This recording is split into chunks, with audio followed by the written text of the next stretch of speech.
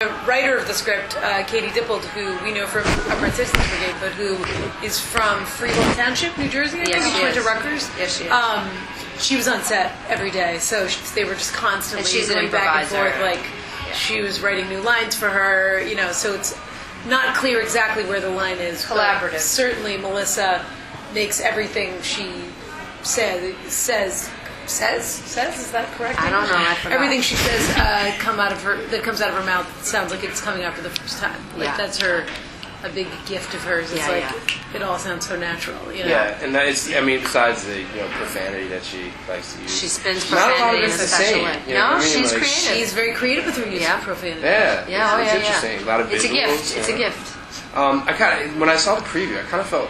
I'm not gonna lie, I kind of felt bad for Sandra Bullock. I was like, "There's no way that she can hold up." And yet- but she was, she was awesome. She was, she was almost like Amber, she was right on the this? same level as, hear what you as Sandra? Bullock. I mean, she. Was, I agree. So, well, you forget it's it's been a while, but you got to remember that she comes from comedy.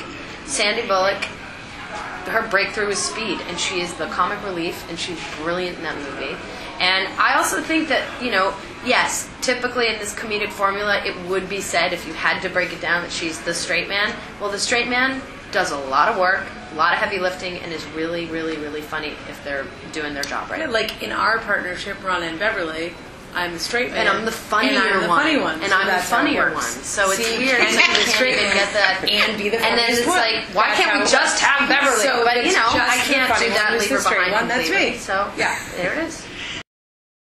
I think it's either like, like we were saying, we either play Jewish mothers or junkies. Those are nothing in between. pretty good range. Pretty good. Always Yeah. Boston from Boston. Yeah. Boston's funny. And it was really fun, Yeah. and it was. A, I mean, you could do a lot more in a day.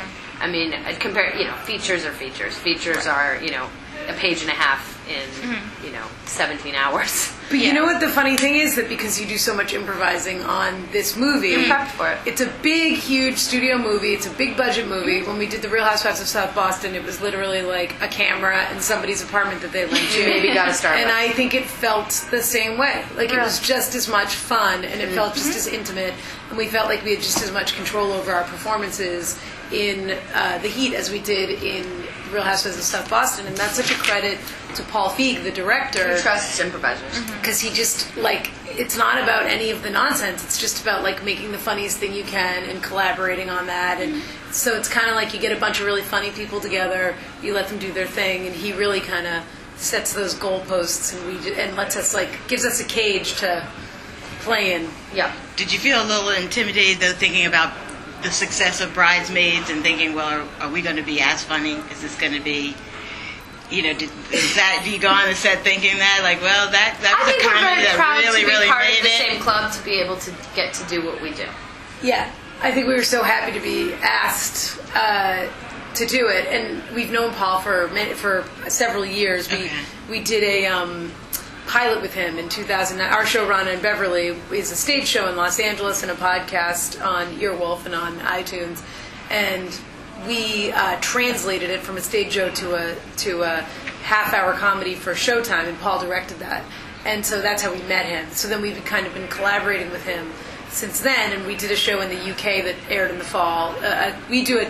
Our show is a talk show where we interview celebrities, and so Paul produced that, and so it was kind of like the stakes in the. You'd think the stakes are really high because what comedian wouldn't, or especially a female comedian, hmm. wouldn't want a part in Paul's next movie after Bridesmaids. After right? But because we know him so well, I think that there wasn't that anxiety of going into it. Though I remember the day before, like the first day, because I don't didn't know Melissa well. I'd met her once, and Sandra I didn't know at all.